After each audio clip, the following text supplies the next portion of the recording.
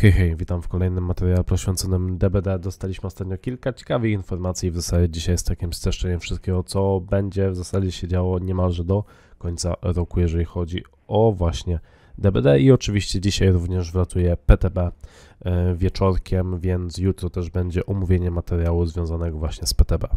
Więc w zasadzie najważniejsza informacja, która gdzieś tam wypłynęła w zasadzie dzisiaj w nocy, a w zasadzie bardziej nawet wieczorem, oficjalnie FNAF wyląduje w DBD, aczkolwiek nie będzie to za szybko, ponieważ na FNAFa będziemy musieli poczekać aż do lata przyszłego roku, więc powiedzmy, że to będzie coś w rodzaju chwilę przed eventem urodzinowym dostaniemy to DLC prawdopodobnie.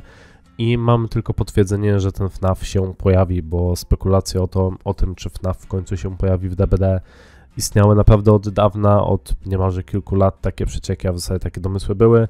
No i finalnie mamy potwierdzenie, że ten FNAF w DBD wyląduje właśnie latem przyszłego roku. Poza tym nie wiemy całkowicie nic, aczkolwiek no jedno DLC jako potencjalne zostaje, że tak powiem, do wywalania odhaczone, ponieważ wiemy, że je dostaniemy. Również na przełomie kilku ostatnich dni dostaliśmy dwa filmy związane właśnie z Castlevanią, czyli z dodatkiem, który wleci prawdopodobnie dzisiaj na PTB, ponieważ więcej szczegółów właśnie ujrzymy 6 sierpnia, czyli de facto dzisiaj, kiedy wychodzi PTB. Eee, mamy w zasadzie dwa filmy z Nietoperzem oraz Wilkiem, czy to będzie zajawka jakichś skinów, albo postaci, albo generalnie tematyki DLC. Eee, ciężko powiedzieć, filmy same się, tak jak powiedziałem, pojawiły. E, no i będziemy musieli czekać do samego PTB do wieczora niestety.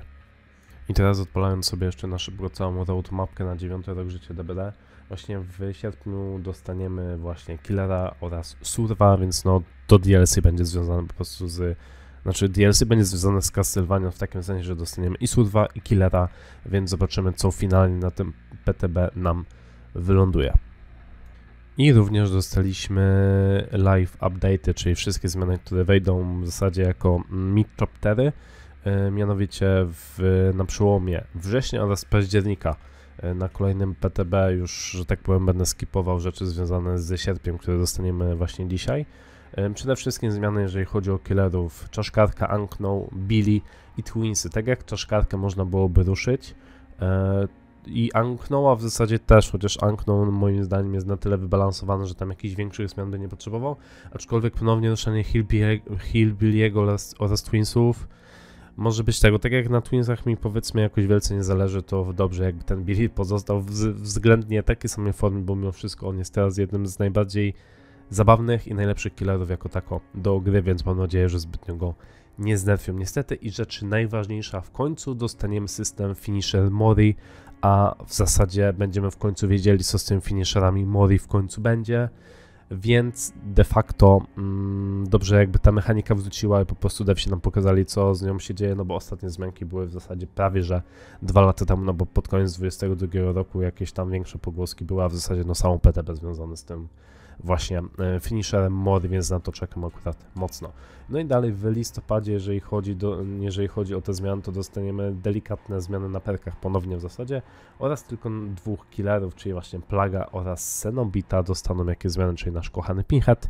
Jak to się skończy? Zobaczymy. Czy Plaga potrzebuje zmian? Nie zdziwię się, jak dostanie nerfa, a Senobita pewnie Pinheadzik dostanie coś w rodzaju jakiegoś buffa albo jakieś właśnie zmiany. Wątpię, żeby to był jakiś rework mocy, ale raczej jakiś buffik e, Amplega moim zdaniem może dostać nerfa. Także tyle, jeżeli chodzi o to. E, jutro materiał z PTB i zobaczymy, co tam finalnie dostaniemy, jeżeli chodzi właśnie o Castlevania. I w zasadzie tyle. Dzięki za uwagę. Piszcie, co o tym sądzicie. Trzymajcie się. Do następnego. Hej, hej.